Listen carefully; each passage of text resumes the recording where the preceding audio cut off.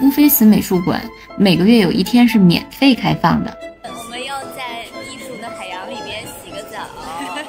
哎，为了占这个便宜呢，我今天就来了一趟菲茨。我们来到就是楼上的话呢，就可以看到很多的这个雕塑。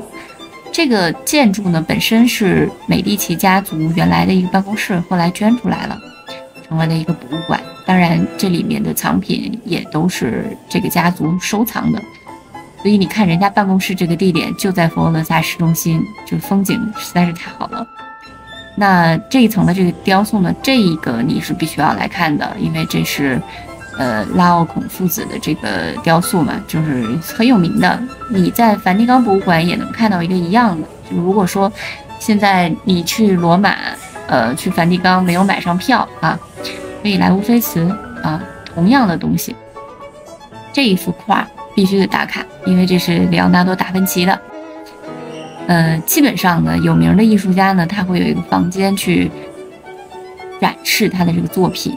这个作品就不用说了吧，《维纳斯的诞生》，这是波提切利的作品。那这个房间里也都是他的一些画作哈，就我也忍不住在春这里打了一个卡。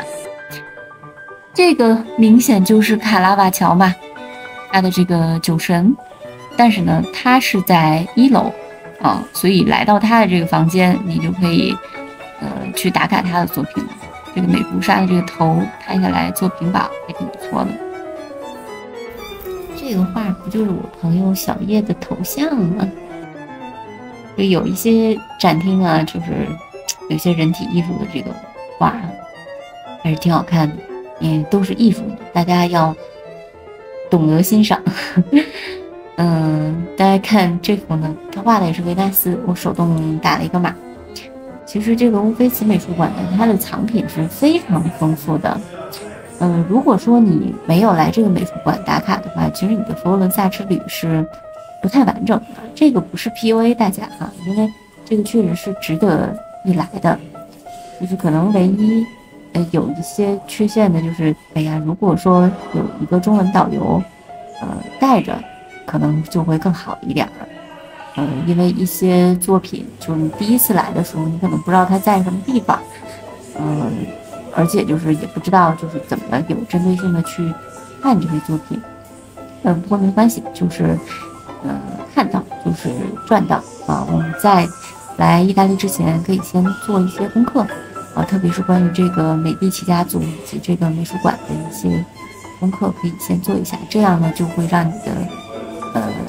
整个的意大利之旅变得非常的充实，呃，建议你来这儿哈，至少说有空调，是你可以稍微凉快一点，因为现在七八月份佛罗伦萨真的是太热了，好吧，今天的这个分享就到这儿，希望大家在佛罗伦萨玩的愉快，我是戴琳，悄悄。